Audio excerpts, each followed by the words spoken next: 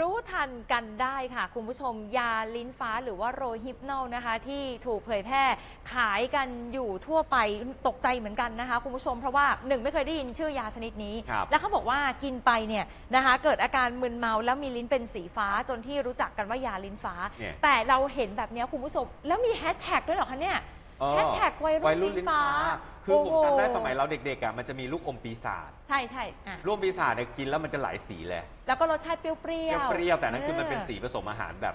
สุดๆ แต่อันนี้มันใช่เป็นยาฮะ ค่ะ คือมันเป็นยาลิ้นฟ้าครัค่ะบเนี่ยตกใจมากมีแชร์เป็นวัยรุ่นลิ้นฟ้าเป็นเรื่องเป็นราวเลยเออ นะคะ ซึ่งแน่นอนคุณผู้ชมคะยานี้เดี๋ยวเราต้องมาทำความรู้จักกัน หาซื้อขายได้ทั่วไปหรือไม่ ใช้ผิดวัตถุประสงค์จะเป็นอย่างไร ยาลิ้นฟ้าหรือโรฮิปโนลทำอะไรได้บ้าง ร่วมพูดคุยกันในวันนี้นะคะ กับผู้ช่วยศาสตราจารย์เภสัชกรบดินทร์ติวสุวรรณจากคณะเภสัชศาสตร์จุฬาลงกรณ์มหาวิทยาลัยถ้าเรื่องยานี้ต้องมาปรึกษาอาจารย์บดินทร์สวัสดีสวัสดีค่ะสวัสดีครับ สวัสดีคอาจารรับย์บดินทร์ครับเข้าเรื่องเลยดีกว่า ผมเองเนี่ยก็ไม่รู้จักยาชนิดนี้ แล้วก็ครับไม่อยากจะใช้ด้วยนะครับ แต่ว่าเอ๊ะเห็นเหมือนว่าวัยรุ่นถึงขั้นมีแฮชแท็กเนี่ยแสดงว่ามันได้รับความนิยมพอสมควรเลย ให้อาจารย์อธิบายก่อนว่ายาโรฮิปโนลเนี่ยยาลิ้นฟ้าเนี่ยมันคืออะไรใช้รักษาโรคอะไรรับคือต้องเรียนอย่างนี้ผมเป็นครั้งแรกที่ผมได้ได้ยินว่ามีการใช้อะไรแบบนี้เหมือนกันนะครับ ยาตัวนี้เนี่ย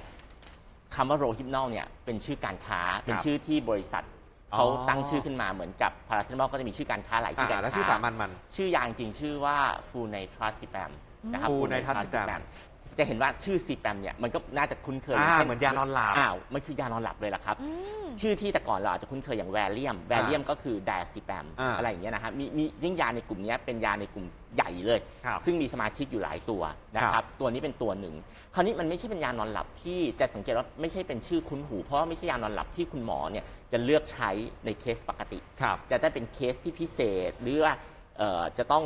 อาจจะใช้อันหนึ่งคือใช้ก่อนผ่าตัด ครับนำนำสลบใช้เป็นยานำสลบอ๋อ อะไรอย่างเงี้ยนะครับเพราะฉะนั้นยาตัวนี้เนี่ยโดยทั่วไปบางโรงพยาบาลนะฮะไม่ใช่ว่าคุณหมอทุกท่านจะสั่งจ่าย ครับส่วนใหญ่จะเป็นคุณหมอเชี่ยวชาญเฉพาะทางเช่นคุณหมอที่อยู่ทางด้านจิตเวชครับ อืม และยาตัวนี้เนี่ยโดยกฎหมายไทยเนี่ยจัดเป็นวัตถุออกฤทธิ์ต่อจิตและประสาทประเภทที่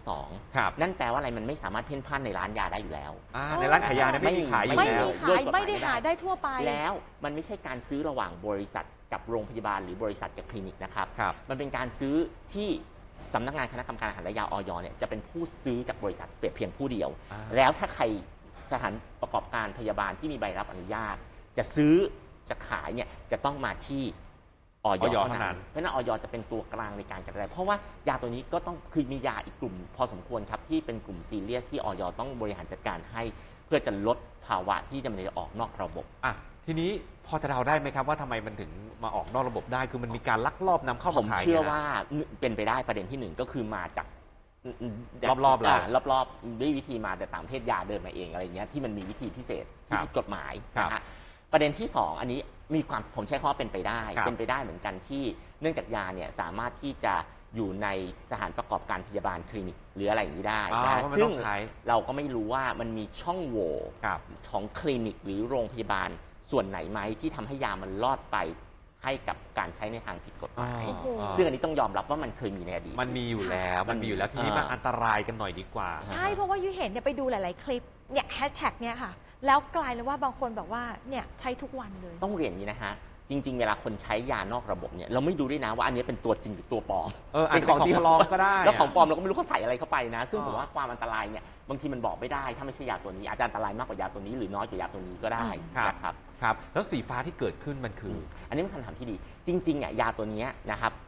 Flunitrazepam เนี่ยไม่มีสีแล้วก็ไม่มีไม่ค่อยมีรสชาติและโดสมันค่อนข้างต่ำอ่ายาตัวเนี้ยจริง ๆในต่างประเทศก็ concern เพราะว่า มันถูกไปใช้ในทางผิดกฎหมาย เอาไปมอมคนได้อะครับอ่าอ่าอ่าทำให้เคลิ้มเคลิ้ม ทำให้บริษัทโรชเนี่ยเลยตัดสินใจนะมีการทำโดยใส่สีอ๋อ น้ำเงินลงไป คือตอนแรกมันไม่มีสี เป็นอันนี้การพอมันไปปนในอาหารในเครื่องดื่มเนี่ยคนเออเพราะมันผไปลอกิ ในกันในขับในบาร์ไปปนในเครื่องดื่มแล้วอ่ามี มีการแบบเรฟอะไรอย่างนี้ขึ้นไม่ได้เลยเขาก็เลยตั้งใจใส่สีเมื่อไหร่ก็ตามที่ใส่ลงไปในเครื่องดื่มอยู่จะเห็นทันทีว่าไม่ปกติอ่า นะฮะยกเว้นแต่เครื่องดื่มนั้นสีเข้มมากจะมองครับไม่เห็นครับ นั่นคือความตั้งใจของผู้ผลิต มันคือสีผสมอาหารนะอาจารย์ มันคือสีที่ใช้ในยาอืม เป็นสีที่ใช้ในอุตสาหกรรมยาอะก็แตกต่างกับสีที่ผสมอาหาถูร กต้อง อ่า แต่คราวนี้ถ้าของปลอม ครับ ค่ะ มันก็เป็นไปได้ว่าใช้สีอะไรก็ไม่รู้เอออยู่ข้งในแต่ฟ้าเหมือนกัน ใช่ครับ หนึ่งคือตัวยาเนี่ยใช้ในกรณีที่ไม่สมควรอยู่แล้วถูกต้อง สองคือไม่รู้ว่ายานั้นจริงด้วยหรือเปล่า ถูกต้องแน่นอนะครับว่าคนที่ลักลอบเอายานี้เข้ามาไม่ว่าจะด้วยเล่ห์กลใดอะไรก็แล้วแต่ อือฮึ ก็ต้องมีความผิดตามกฎหมายด้วยใช่ไหมถูอากจารย์ต้องครับ อันนี้อันนี้เป็นความผิดทางกฎหมายแน่นอน แล้วก็อันตรายข้อสำคัญเนี่ยผมไม่ได้กังวลเรื่องกฎหมาย เท่าเรื่องของ ความปลอดภัยของผู้ใช้มากกครัว่าบอันนี้เป็นอันตรายมาก อะทีนี้ค่ะ นานแค่ไหนมันถึงจะอันตรายหรือว่าจงๆ แม้กระทั่งโดสเดียวเม็ดโดสเดียวเดียวก็มีโอกาสที่อันตรายถึงชีวิตได้ครับ โอ้โห เพราะว่ายาพวกนี้เนี่ยออกฤทธิ์ต่อจิตประสาท อืม จะสังเกตว่าทางการแพทย์เองยังจ่ายให้ผู้เชี่ยวชาญและไม่ใช่หมอธรรมดาจะลุกขึ้นมาจ่ายในบางโรงพยาบาลกำหนดไว้เลยว่า ยาตัวนี้จะจ่ายได้เฉพาะผู้เชี่ยวชาญ เช่น หมอผ่าตัดที่ครับจะให้การก่อนผ่าตัด หรืครัอบว่าเอ่อ คุณหมอที่เชี่ยวชาญด้านจิตเวชเท่านั้นครับที่จะเป็นคนจ่าย แล้วก็ยาเนี่ยใช้ระยะสั้น แล้วไม่ใช่ยาตัวแรก ๆ ที่คุณหมอจะเลือกใช้อยู่แล้วอ่าเพราะฉะนั้นมันมีข้อจำกัดหลายอย่างครับนะนั่นเป็นสาเหตุที่ว่าขนาดเราจะรักษาผู้ป่วยเอง ตัวผู้ป่วยก็ยังต้องมีความจำเพาะเจาะจงมากๆเลย เพราะว่ามันเป็นยาที่เราจะต้องดูแลเป็นพิเศษครับอ๋อครับเพราะฉะนั้นโพสต์เอิกกระเริกแบบนั้น มีสิทธิ์โดนได้ระวังด้ย ทัวร์ลงนะฮะอ่า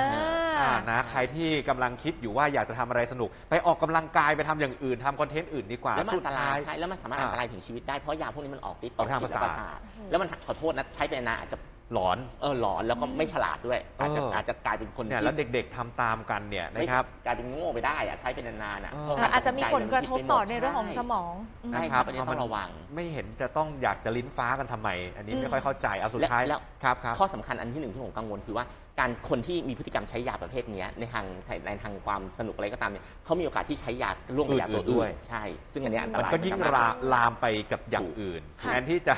ไม่ไม่อยากไปยุ่งกับยา แต่กลายเป็นว่าความสนุกของเรามันอาจจะดึงเราให้ดิ่งต่ำลงไปอีกดันะงครันั้บนผมคิดว่าถ้าท้ายนี้นะ เพราะผมจะฝากก็คือหนึ่งก็คือหนึ่งคนใช้ต้องระวัง ครับเพราะว่ามันไม่ได้ปลอดภัยข้อสองเนี่ยคนที่ไม่ได้ตั้งใจใช้แต่อาจจะถูก